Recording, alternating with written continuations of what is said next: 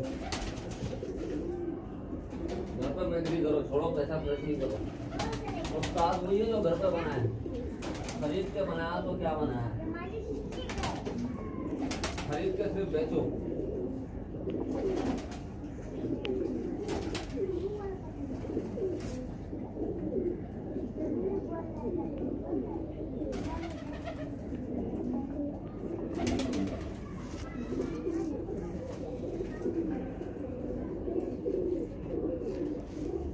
Thank you.